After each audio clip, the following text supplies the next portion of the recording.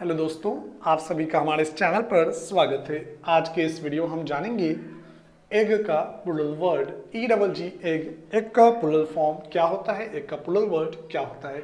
तो मेरे प्यारे साथियों, मेरे प्यारे दोस्तों, आपसे रिक्वेस्ट है कि आप इस वीडियो को बिना स्किप किए पूरा इन तक देखें और हमारे इस चैनल को सब्सक्राइब ज़रूर करें।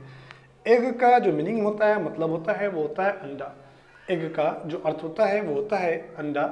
अब दोस्तों, आपको बता इसका जो पुलर वर्ड होगा वो होता है एग्स एग का plural word eggs E double G S eggs अब दोस्तों, आपको बताना है कमेंट में लिख के कि इको का पुलर वर्ड क्या होगा इको का पुलर फॉर्म क्या होता है।